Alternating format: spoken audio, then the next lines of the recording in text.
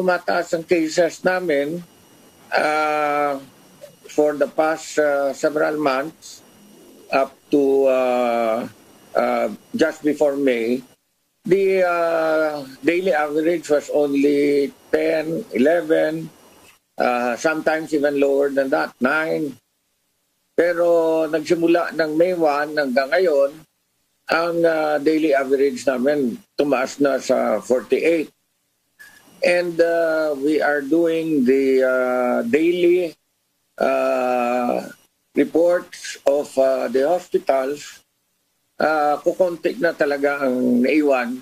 Ang naiwan na beds for COVID are those which are uh, to, uh, for uh, only for uh, pregnant women and also for pediatrics who are positive. Uh, kukonti na lang talaga ang para sa adult na hindi pregnant. Uh, at saka sa mga uh, hindi mga pediatrics no?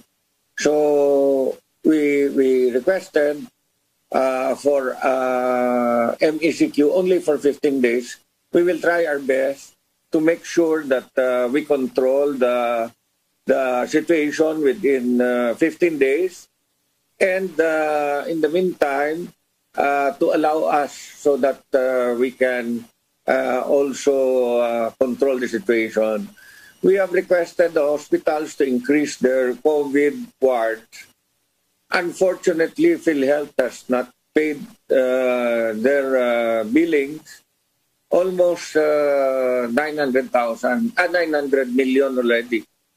So, unless this uh, uh, billings will be paid, uh, it is also going to be difficult for these hospitals to uh, open up more COVID wards. No? Because it will mean that if they open up more COVID wards, it will mean that they will have to uh, suffer more uh, losses, no? because uh, PhilHealth uh, has failed to pay for one reason or the other.